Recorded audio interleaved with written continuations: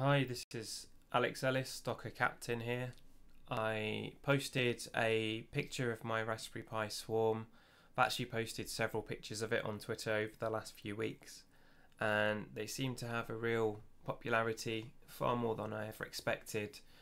And so, what I wanted to do was to show Swarm mode working and um, run through a few test scenarios. I'm not going to go into deep detail on the complete setup but I'm going to show you the commands that I'm typing in and hopefully this will inspire you to go off and try it for yourself. Um, if you look at the Swarm tutorial on the Docker website, it has most of the details that you're going to need to be able to run through the test scenarios, including three networked hosts um, and everything else that you um, could need to type in.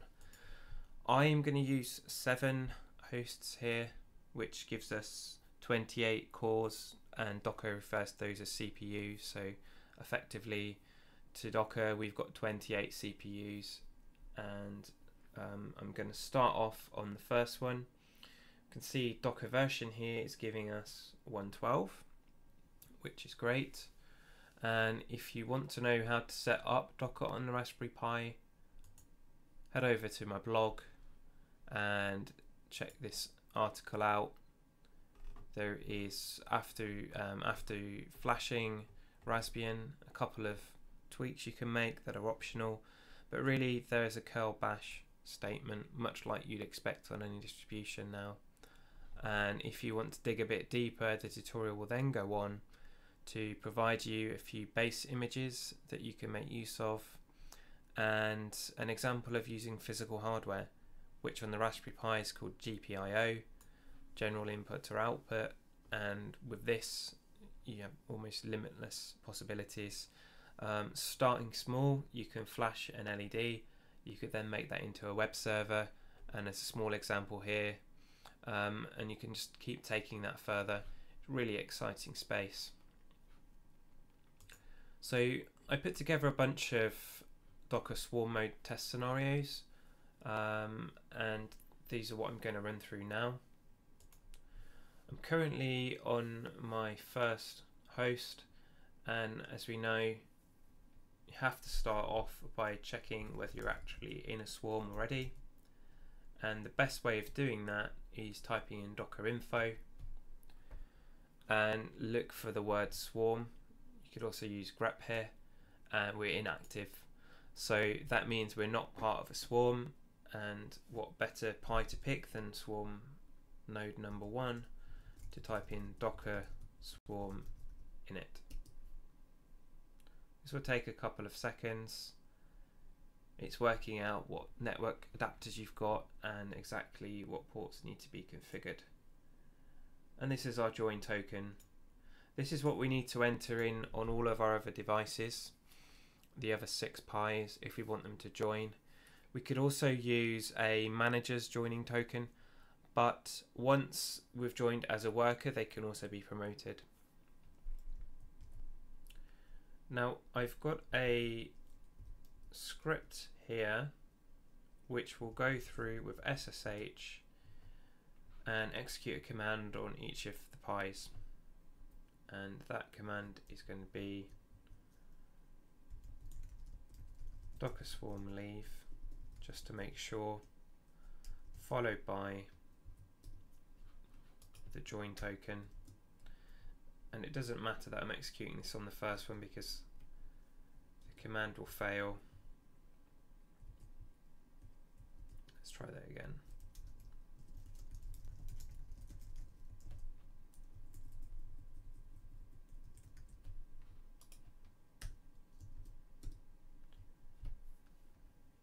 So we're on node 2, we're joined, 3, 4, etc. These are all Raspberry Pi 2s.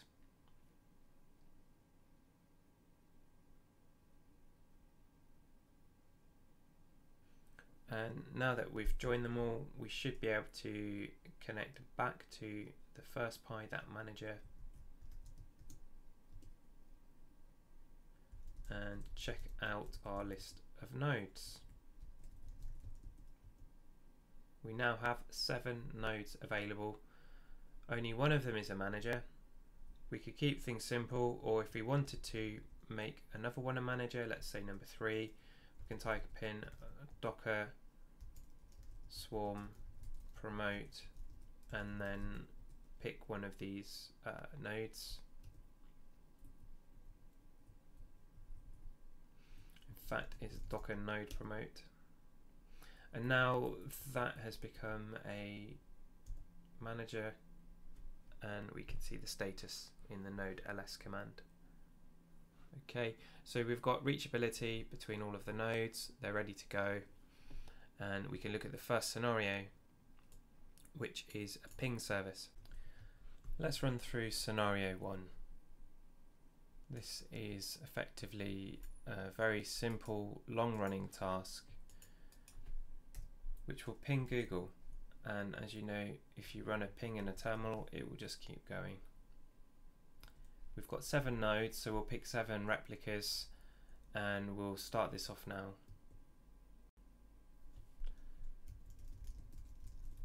What SwarmKit is doing at the moment is going around and trying to establish seven replicas and if we do docker service ls we already have seven if some of our nodes didn't have the image yet then it might have taken slightly longer. And then even when they do have the image if there's a startup time associated with that you might want to look at docker service ps to see whether the desired state and the current state are actually matching. So oftentimes when this is pulling still from the hub you see a current state of um, preparing so let's try this out um, we appear to have one of the tasks on our manager. We'll go in and look at the logs.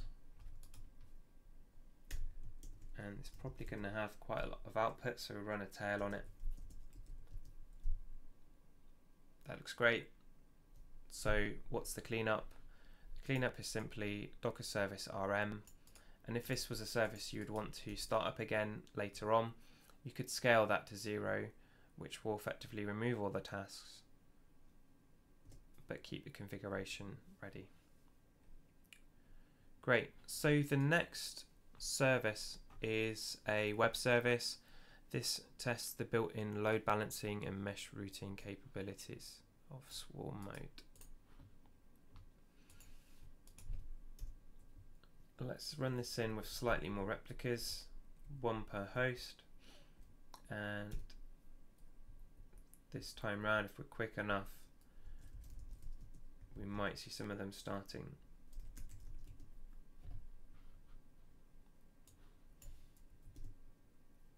They're all up and running and they're ready to receive a curl so let's have a look at localhost and see what we get back. As you can see this publish command is much like docker run. It accepts two ports the port we want to display and the port in the container.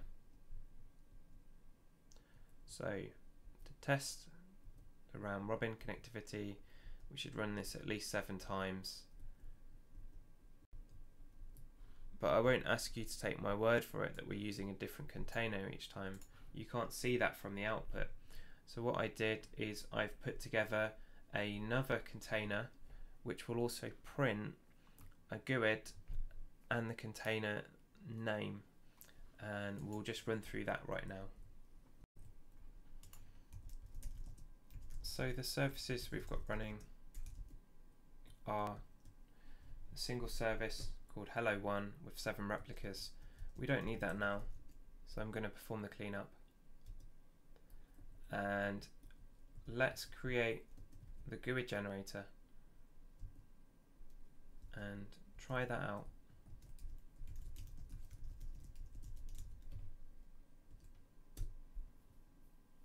So we've got seven tasks running. We'll type in a curl.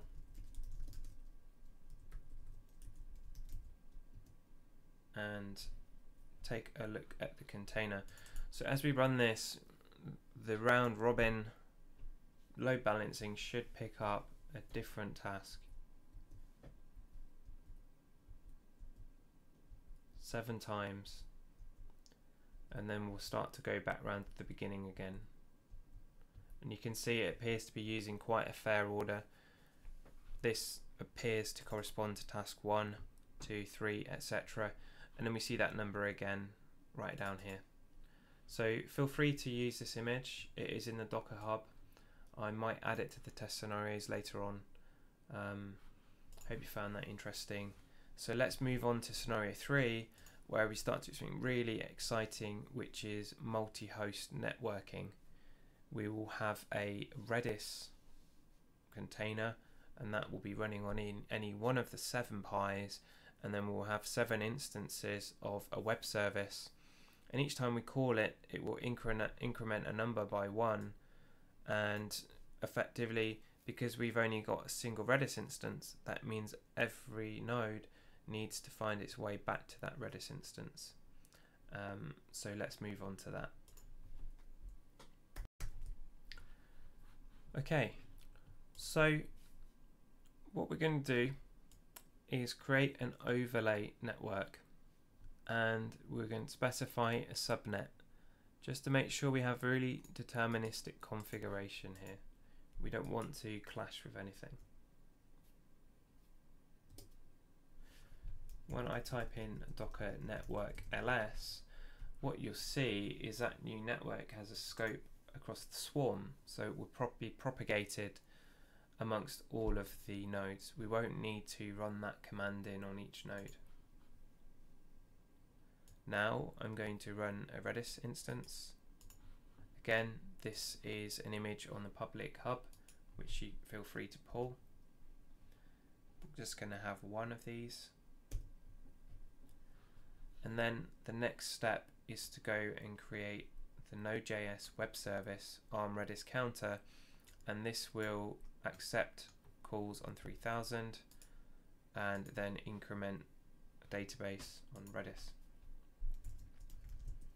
before we get there, let's just check out the health of that Redis service. So it's up and running, it's nice and happy. Here's the service create for the counter and we want seven replicas. There we go. So Docker service ls is now showing us the counter and this is what I was talking about earlier is sometimes catch it before it's actually put all the replicas in. So it's always a good idea to look before you start hitting it. And what do we have here? We've got a failure. Let's have another look. So do we have a container per host? Let's see. We've got four, three, seven, five, six, two, and three. So three's been used twice, but this line is quite interesting. So what appears to have happened, and this is something that um, I'm going to open an issue on, is that SwarmKit has tried to allocate the address. For some reason, it's not been able to, but more or less instantaneously, it's worked out another way of doing that and we do actually have um, the node that it was attempting to create it on um, synced up with a task. So we've got our seven tasks. There's some output here, but we don't need to worry about it at the moment. So let's let's try this out. Let's run a curl.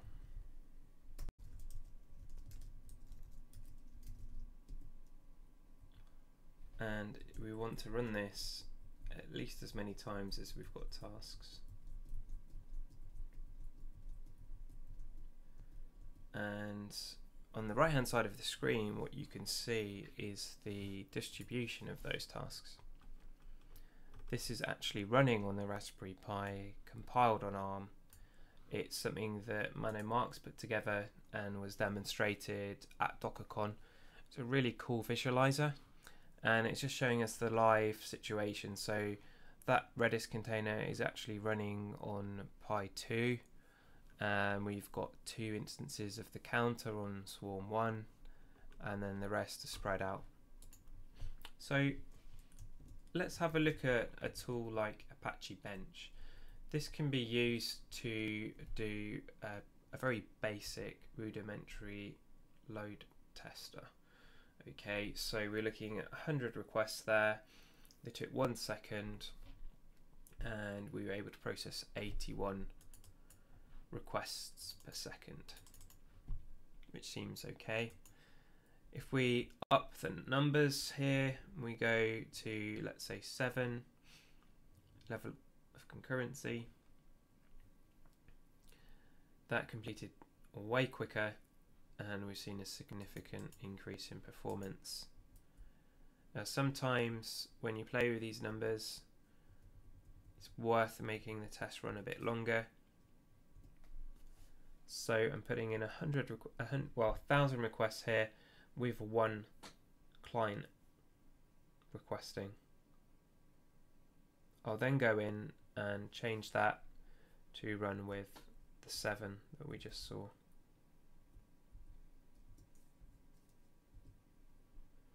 So we're going from 12 seconds to 3 seconds from 80 requests per second to 325.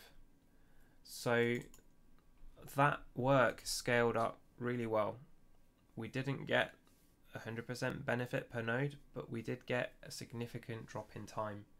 And who knows, maybe with more tuning of the kernel with a different backing file system, we're currently using overlay. I think AUFS might be a bit quicker on the Raspberry Pi potentially even using a network file system backed by an SSD. There's so many ways that we could take this. Um, and if you want to get involved with these test scenarios, if you'd like to contribute some code to the visualizer, then please get in touch and head over to the blog. This is where you'll find most of the stuff that I'm working on, or find me on Twitter and love to get in touch with you and hear what you want to do with your Raspberry Pi Swarm.